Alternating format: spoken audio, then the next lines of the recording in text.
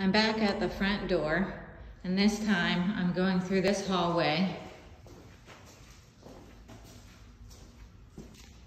This is where the air handler is. The paint is dark in these rooms, but if it was painted lighter, you'd really be able to tell that they're actually quite big. And then there's another one of those accordion style closets if they were a fan of these accordion doors. That's a long closet there. Um, there are two different types of flooring here as well with no transition piece.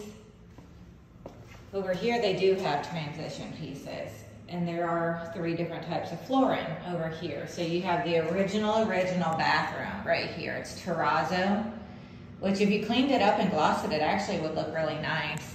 And then you've got a blue tub, all the original tile probably needs to be um, caulked or grouted and sealed. And then I wouldn't say that's the original vanity, but I don't think it's as new as the other one. And then lastly, on this side of the house, we have this other bedroom. Used to be a window or something there Again, with the dark paint, it's not as big as the other rooms, but if it was lighter paint, it would look bigger. Okay, that's a little linen closet. And so is this one.